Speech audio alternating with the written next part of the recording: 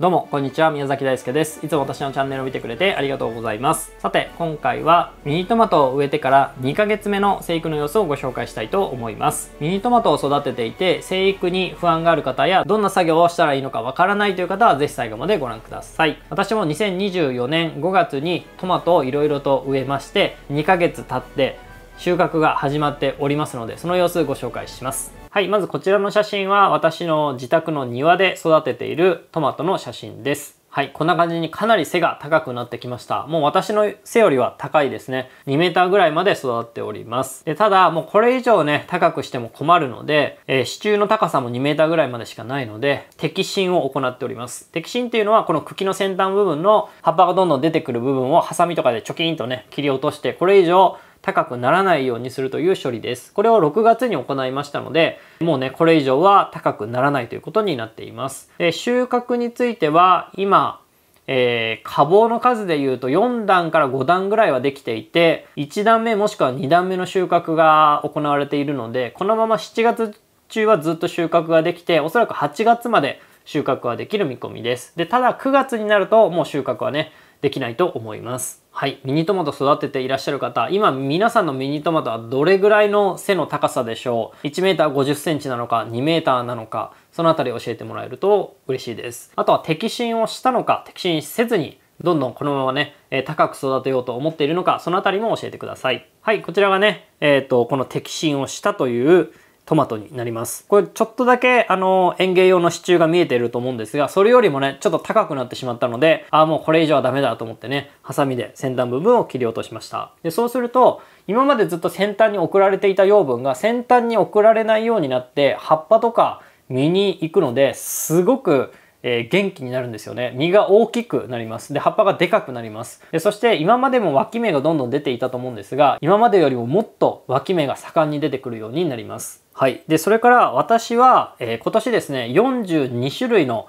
品種を庭で育てていますので、えーそんなに広くない庭で育てているので、どういう栽培方法かと言いますと、密植栽培って言われるやり方をしてるんですね。普通こうトマトとトマトって間を、まあ、数十センチ離して植えると思うんですけれども、私はもう2株をこう密植させてどんどん、えー植えておりまして、そのせいで茎と茎がかなり近くて、こちらの写真でももう何株植わっているのかがわからないぐらい写ってますね。1、2、3、4、5、6か7株ぐらいね、7種類ぐらいのトマト類の株が写ってます。それぞれ品種ごとに葉っぱの色が違うので、葉っぱのね、色とか形とかが違っていて面白いですね。えー今年皆さんは何種類のトマトを育ててますか？ぜひね、コメントで教えてください。多分ね、たくさん育てている方もいらっしゃると思いますし、1種類だけ、1株だけっていうね、方もいらっしゃると思います。収穫が始まったとかね、食べてみたら美味しかったとか、皮が硬かったとかね、なんかそのあたりも教えてください。それからこちらは袋栽培で育てているところになります。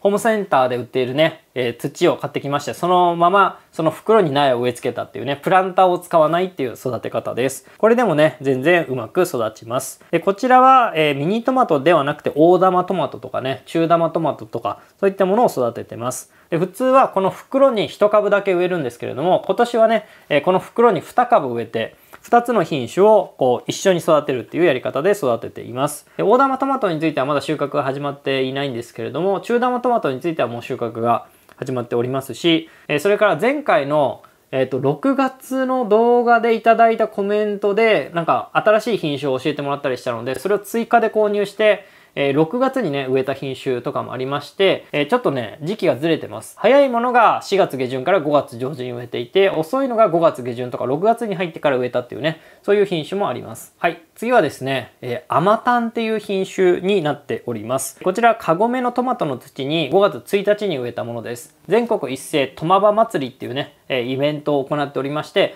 それに合わせて植えたものになります。で、園芸用の支柱を1本立てて、そこからね、アマタンっていう品種の茎がこう、わーっとね、斜めに綺麗に伸びていってるのがわかると思います。これは横から撮影した写真なので、なんかちょっと斜めになってると思うんですけれども、これを太陽がある方向から写した写真がありますので、ご覧ください。はい、こちらなんですが、わかりますかね？綺麗に葉っぱが全部こっちにこう向いていますよね。まあ、こんな感じでトマトっていうのはこう太陽の光の方にこうクイッとねクイッとちょっとずつこう葉っぱを向けてあの受光姿勢っていうんですけど光が受ける姿勢をねすごく良くするっていうねあのそういう特徴があります。まあ、他の植物でもあるんですけどやっぱりね太陽の光がすごく重要なのでそれに、えちょっとね自分の体を合わせていくっていうねその辺がね面白いですしこう綺麗で美しいなというふうに思って眺めております。でこちら、アマタンについてはもうね、収穫が始まりました。こんな感じの実が収穫できています。でただね、収穫開始が遅かったんですよね。7月の上旬でした。で、5月の上旬に植えて7月の上旬なので、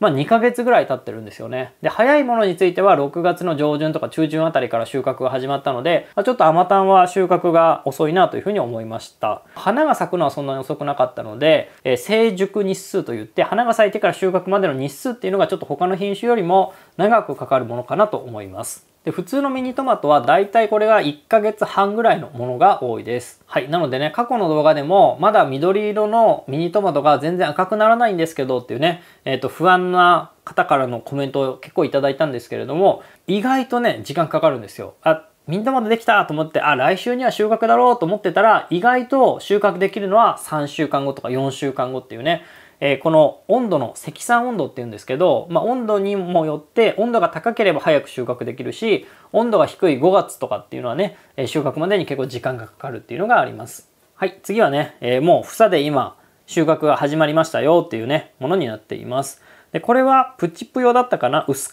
品種ですね。はい。で、上の方が赤くなって下がね、まだ緑でという感じになっています。下の方はちょっとちっちゃい実があるので、これはもうちょっと早めに適化をするべきでしたね。はい。あと、薄皮品種っていうのは皮がすごく薄いので、食べた時のね、食感が良くて美味しいです。おそらくなんですが、今年ミニトマトを初めて育てた方で、食べてみたら皮が硬くて全然美味しくねえじゃねえか、なんだこれっていう風にね、怒っている方もいらっしゃると思います。そうなんです。ミニトマトはね、結構皮が硬くて、口の中に残ってね、あーっって不快に思う方がいらっしゃるので、そういう人向けに薄皮品種っていうね、えプチプヨとか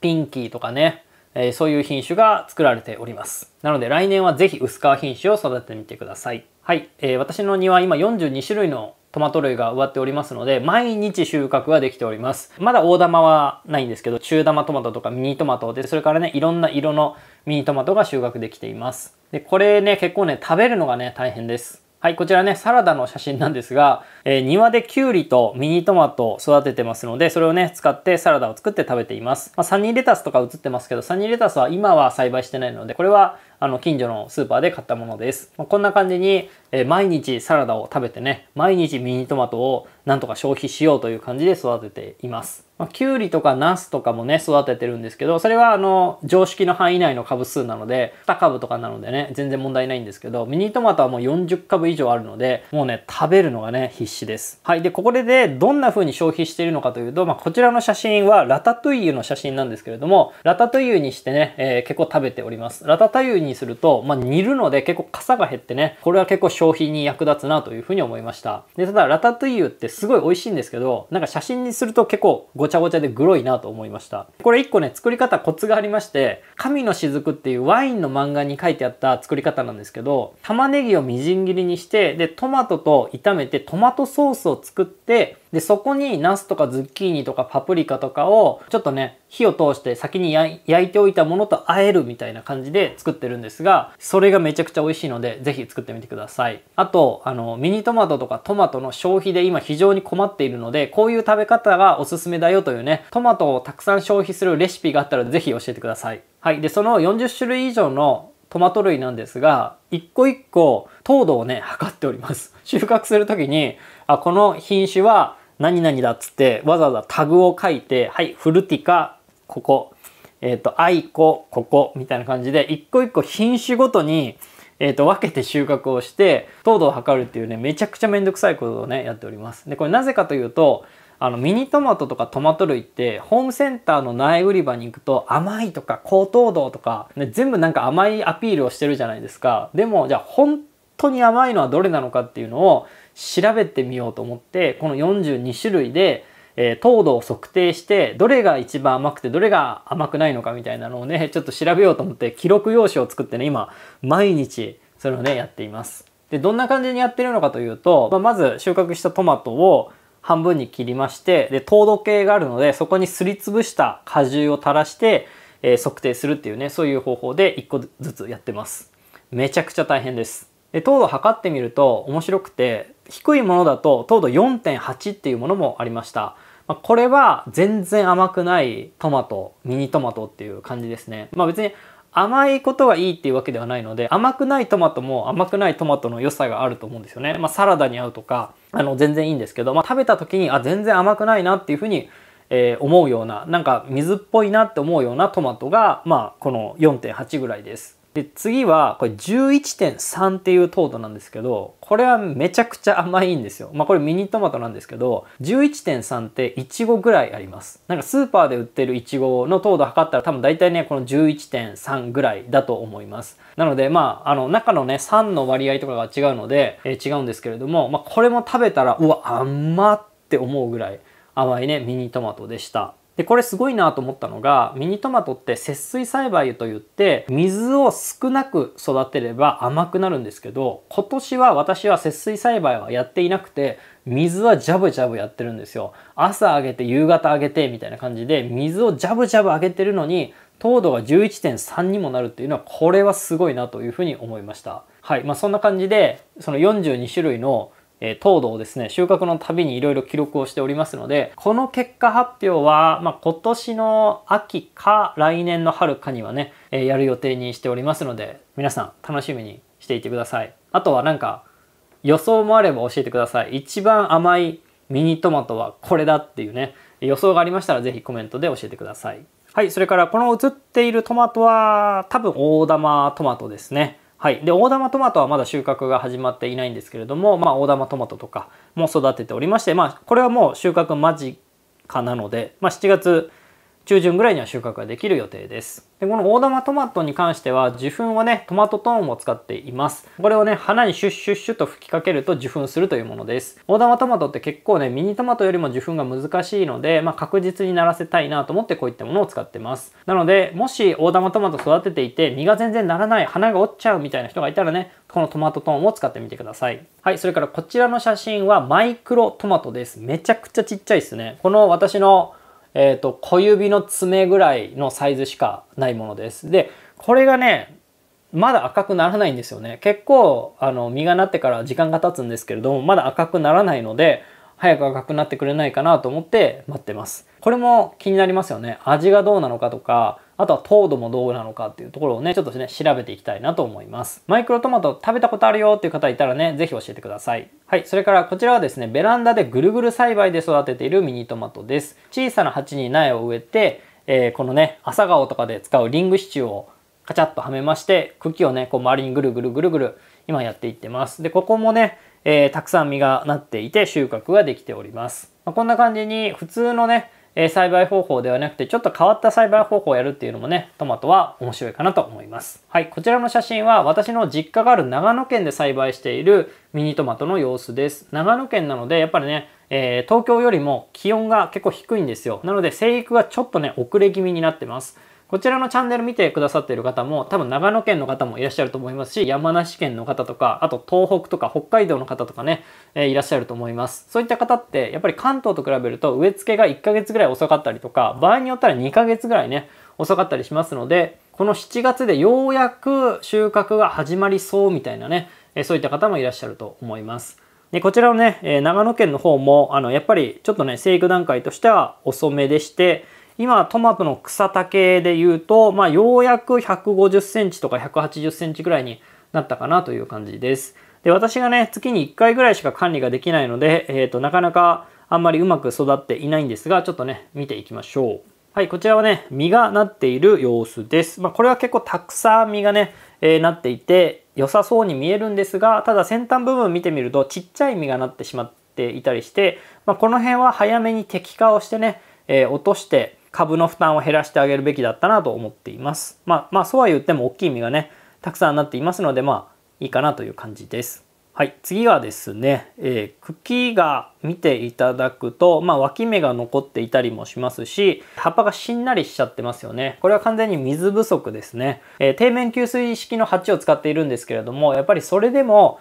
水不足になってしまうんですよね。あの、水やりについてはちょっと親にお願いしているんですが、やっぱり結構仕事が忙しいこともあって、なかなかね、水やりをしてもらえないので、私が今回行った時には、こう、葉っぱがえー、しおれてしまっていました多少ねしおれる分には全然トマトでもいいんですけれどもあんまりね、えー、完全にしおれてしまうようだと生育が悪くなってしまったりとか根っこが傷んだりしますのであんまり極端にしおれないようにするのがいいと思いますはいまたねちょっと東京の方戻ってきまして私の庭で育てている、えー、トマトのこちらはですね水耕栽培で育てているミニトマトになります水耕栽培でこれまでゴーヤとかえー、きゅうりとか育ててきまして、同じ容器を使って今年はミニトマトを育てています。で、そちらのね、作り方みたいな話は、えー、過去の動画でしておりますので、そちらをぜひご覧ください。はい、こんな感じに、えー、茎がどんどん伸びてきて、花がね、たくさん何段も今できてきて、えー、実もぶら下がっています。でもまだ収穫はできていないですね。まあ、こちらをちょっとスタートするのが6月からだったかな。あの、かなり遅れましたので、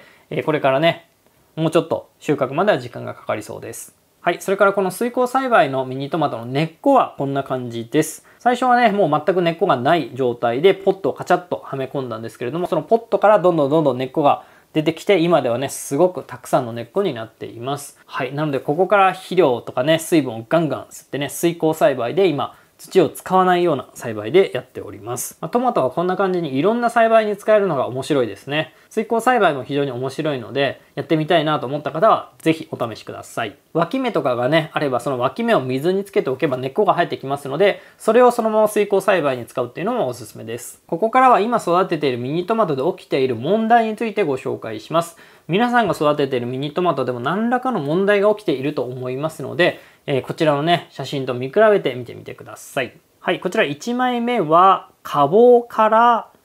葉っぱが生えているというものです。わかりますかね？こう花が咲いて実がなっているところからまたなんか葉っぱが生えてきて伸びているっていうね、そういうことになっております。まあ、こういうのって、えー、例えば肥料が多すぎたとかね、えー、葉っぱの茎の生育が旺盛すぎるみたいな時に起きやすいです。これ残しておいてもいいことないので、あの気がついたらもうその段階でハサミで切り落とすようにしてください。あの、実の部分は残しておいていいので、実から出ている葉っぱの部分だけ除菌とね、切り落としてください。まあ、これは創生型っていうね、言い方をするんですけれども、葉っぱの生育があまりにも旺盛すぎる、元気が良すぎるっていうね、そういうのの証になっております。はい、次の写真。こちら何なのかわかるでしょうか、えー、こちらはですね、強風で園芸の支柱がバタバタバタっとね、倒れてしまったっていうね、写真になっています。えー、先ほども言った通り、私はね、密集栽培をしているので、支柱がいっぱい立っていて、そこに茎がいっぱいあるんですけれども、風が強い時はもうバタバタバタってね、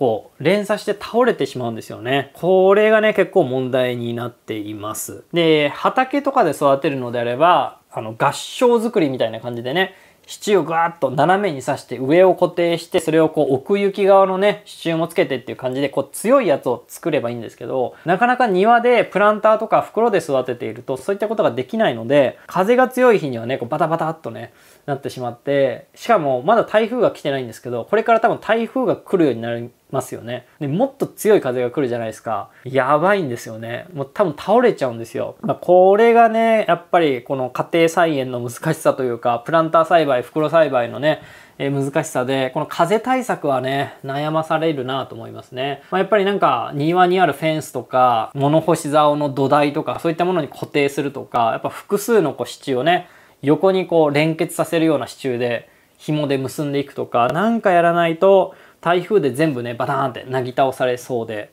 怖いです。皆さんの風対策は大丈夫ですか？実際も実害が出ておりましてこちらの写真は園芸用の支柱に茎があったんだけれども風でボキーンとね折れてしまったっていうねそういう写真になってます。大きい実がなってるんですけどもうこの部分からねバキーンとね、茎が折れてしまいました。まあ、悲しいですが仕方ないですね。もうこれは風です。強風でやられたっていう感じですね。はい。それから次の写真。こちらはわかるでしょうか？初めて育てる人はね、結構びっくりすると思います。あれなんか葉っぱに変な白い線がある。なんだろうこれ。あれなんか見るたびに増えていってるぞみたいな感じに思いますよね。これは絵描き虫って呼ばれたりもするんですけれども、えー、正式名称はハモグリバエですね。まあ、葉っぱに潜るハエなんですよ。で、ハエがこの中にいるわけではなくて、ハエの幼虫がこの葉っぱの中にいて、葉っぱの組織を食べてるんですね。で、その虫が通った跡がこの白い跡になって残ります。なので、えー、この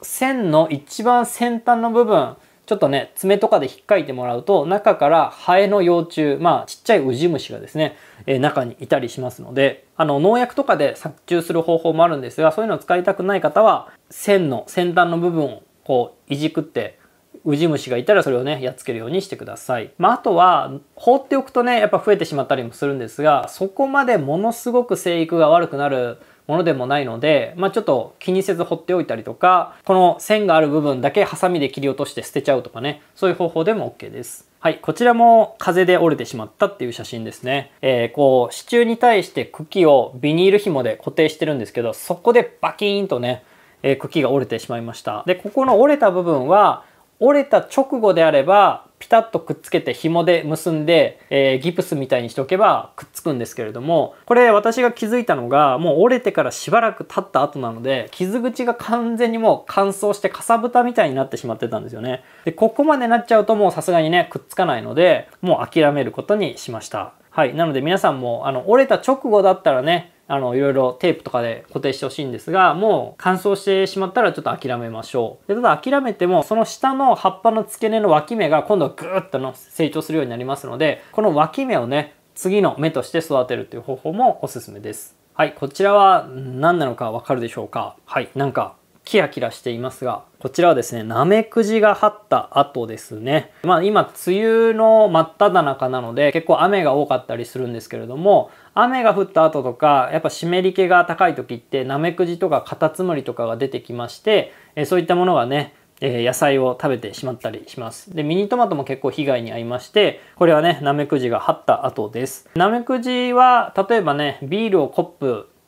に入れて、それをね、ちょっと埋めておいてビールトラップで捕まえるとかあとは有機栽培でも使えるナメトールとかスラゴっていう農薬があるのでそれを撒いておくとかねそういった方法で駆除するのがおすすめです。こちらは、えー、トマトの実に穴がポコポコっと開いていたという写真です。こういうね穴が開いてしまってる方いらっしゃるんじゃないでしょうか。もっとね大きくなんかバカバカバカっとね食べられちゃってるものもあると思います。でこちらについては今回私は現行犯逮捕することができましてこちらねガの幼虫です。おそらく大タバコガっていう種類じゃないかなと思います。あのトマトのね実を食べる虫といえば大タバコガの幼虫っていうのがすごく有名でして、えー、葉っぱも茎もねむしゃむしゃ食べちゃうんですよね。なので家庭菜園でガが